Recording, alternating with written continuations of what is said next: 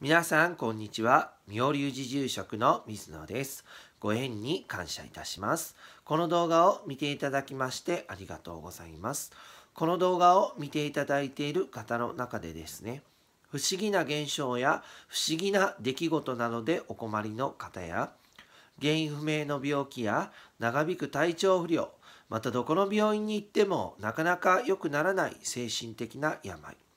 そして仕事のことや家庭のこと恋愛のことや人間関係のことなどでお困りの方がいらっしゃいましたら是非一度当人にご相談してください。きっとあなたのお力になります。